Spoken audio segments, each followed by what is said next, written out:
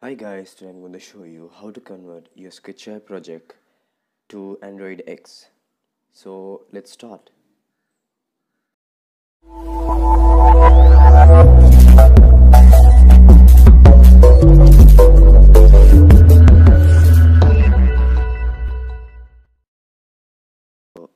By starting, you have to download an application called iSkit, which is available on Play Store.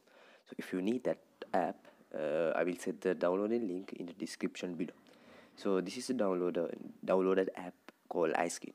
So let's open Sketchware and select the project. So currently, for the example, I'm taking this project, which was compiled, developed uh, earlier Sketchware update. So in the, this new update, uh, it's the library is Android X, so it will be probably not compiling perfectly. So you have to check whether the previous version, the project is working perfectly, and after the update, the project is not compiling because uh, the library is Android X. So now you can see some errors will occur.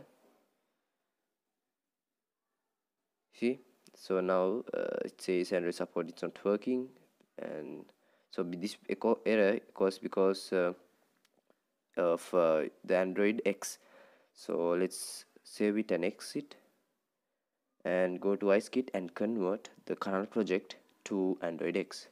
And you can reverse also.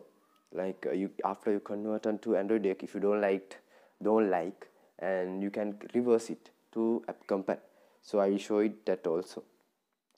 So now let's select the project. So this is my project and let's select convert to Android X. So now it's converting to Android X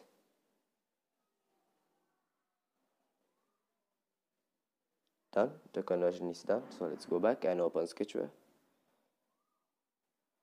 and let's tap the same. And now uh, the project is uh, converted to Android X perfectly. And let's run. And you can see the project will be running without errors. Because the project is uh, already converted uh, to Android X by uh, iSkit application. So now you, you can see yes uh, the X is running. So here now uh, the project is converted as project is converted to Android X the project will be compiling perfectly and now the APK is building install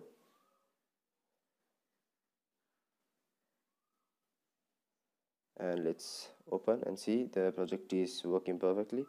And you can see the project is working perfectly. And now let's try to reverse to the previous uh, to app compat so now the project is working perfectly. Now let's reverse the let's remove android x.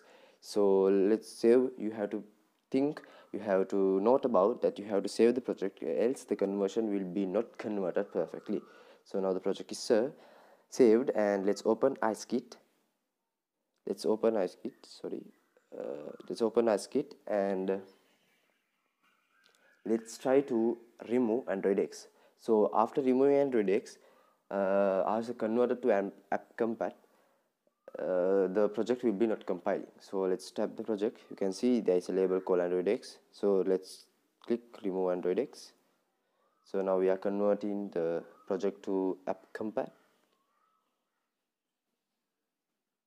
so let's wait. Done. It's uh, android x removed. So now let's go the project and open the project and run and now the errors will be occurred because we removed android x. So now you can see.